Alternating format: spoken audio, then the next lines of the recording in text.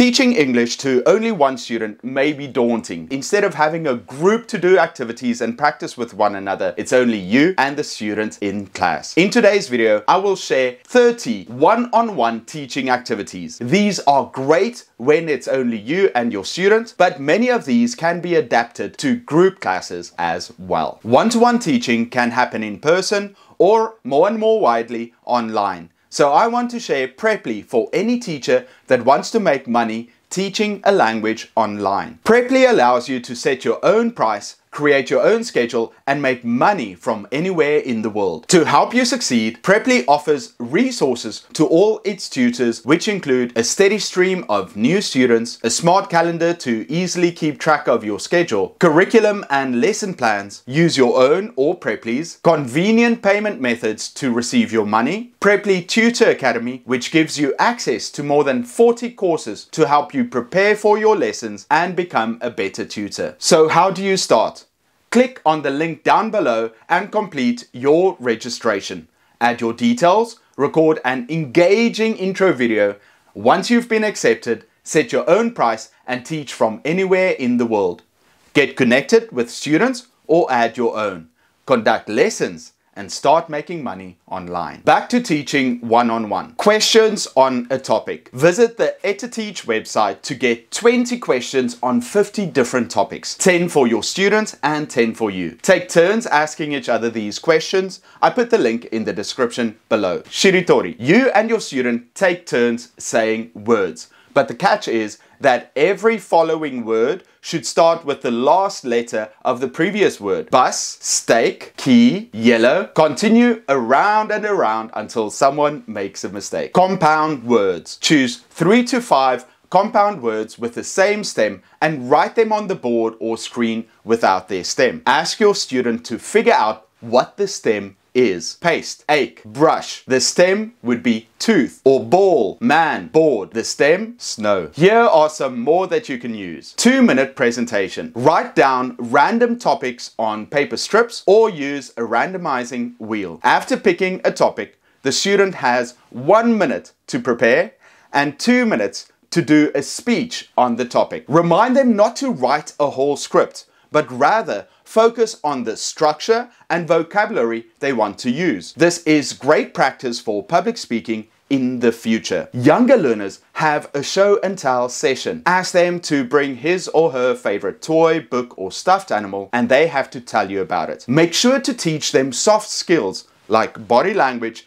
and vocal tips to improve their presenting ability. Mixed up questions. It's always good to start the class with a question. Write a good one on the board, but mix up the word order. Then challenge students to reconstruct the question and then discuss it in pairs or small groups. Most item, you have the ever expensive what's bought. Alternatively, write a question on the board, but this time scramble the letters of each word. To, shi, ryo, Si Lil Romi, A to Z game. Give students a theme. Jobs, things you take on holiday, food. Write the letters A to Z on the board. The student must race to write an appropriate word next to each letter of the alphabet. Name 10. Have students think of 10 items that fit particular criteria. Jobs where you have to wear a uniform, sports that are played with a ball, foods that contain egg, animals that lay eggs. I am better. Start off by explaining the concept of one-upmanship, that some people always like to appear to be more interesting or superior to others in their company. Tell the student a relatively mundane story about something that happened recently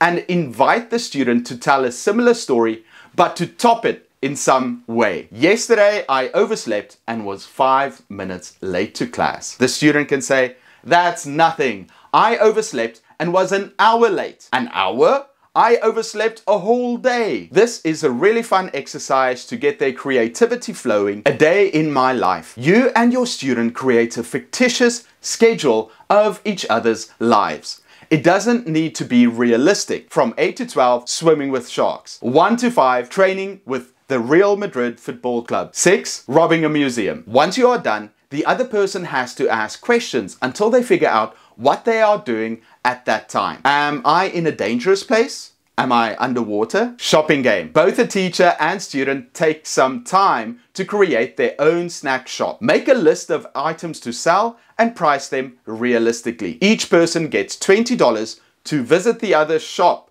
to buy whatever they want. For more advanced students, shoppers have the option of negotiating the price. Secret S. The object of this activity is to answer questions without using the letter S. You and your student come up with five questions each that you can ask one another. Take turns to ask and answer the question. Whoever says an S first in their answer loses. Photographs. Take turns to share a personal photograph and explain what's going on. You can also ask follow-up questions to each other. An alternative activity is to find photographs online. Your student has to describe the photograph and you can discuss whether the picture is good or bad. You can even give a personal rating. This is great for practicing prepositions of where things are on a photograph. Dice conversation starters. Make a six-sided die that the students can use. Write a topic on each side. You can also use a randomizing wheel to pick topics that you can download from the Twinkl website. I put it down below. The topics can include things like hobbies, television, time, sleep, music, interview with verbs. You and your student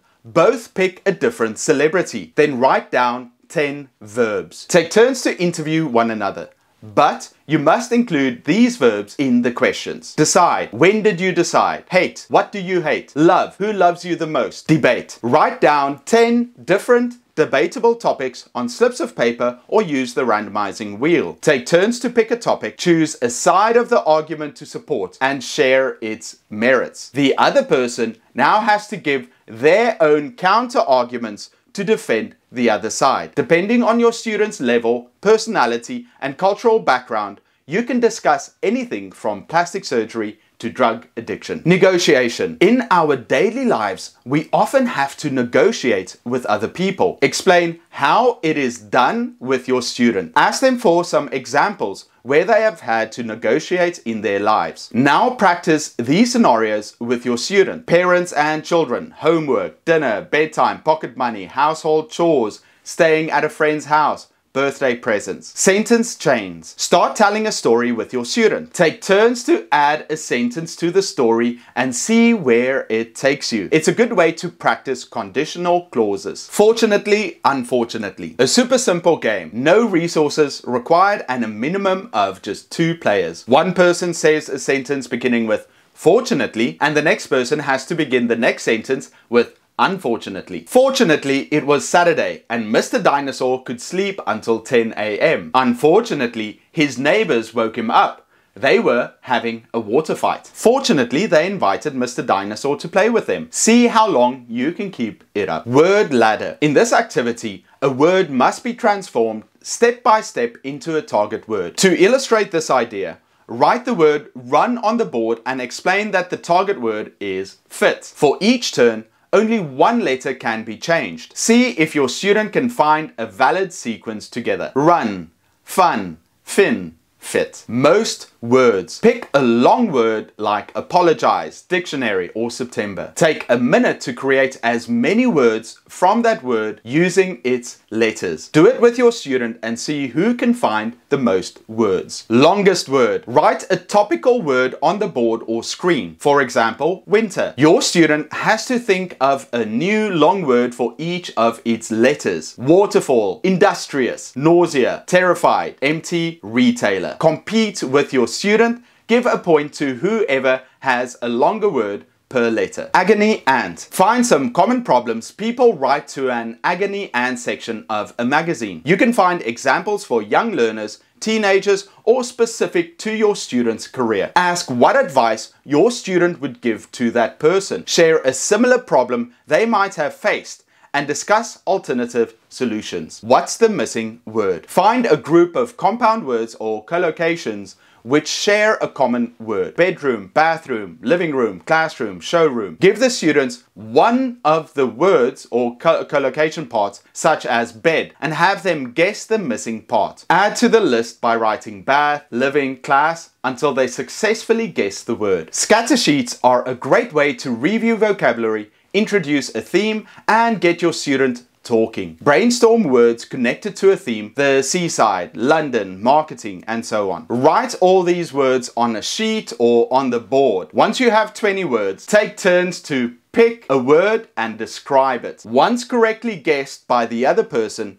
circle it, and it's the other person's turn to explain one of the random words. Teacher robot. Pretend you're a robot and can be controlled by the voice commands of your student. Ask them to direct you to do simple tasks such as making a sandwich, cooking an egg. Try and use realia to make it more fun. It's great for practicing imperative forms such as use, move, do, or time word connectors such as before, after, when. Spot the difference. For younger learners, Spot the Difference is a fun five minute game. Find examples on the internet, ask students to describe what they see, then find the differences. Make it into a speaking activity by encouraging your students to answer in full sentences using prepositions where relevant. Role play games. Great for keeping a younger student entertained and learning English. A role play game is a fantastic way to practice those all important functional language skills. The phrases we use for our day to day interactions. Ordering food, going to the doctor, traveling, problems. Guess the news story. Collect photos from news stories across the world. Let your student guess what it is about and what their headline would be. Then you can discuss the actual article and what they think about it. Post-it mania. Bring a pack of post-it notes to the lesson or if they are online, ask a younger student to use some if they have. Give them a word to write down, then go and place it on the said word. Do this until you have labeled many things in their area. Think of someone. You and your student both make a list of 10 people you both know. It could be dad, mom, celebrities. Switch papers. Now pick a person from their list. They have to ask questions to figure out who you picked. Once they get it right, it's their turn to pick from your list and you to question them. If you want some more tips on how to teach one-on-one, -on -one, check out this next video.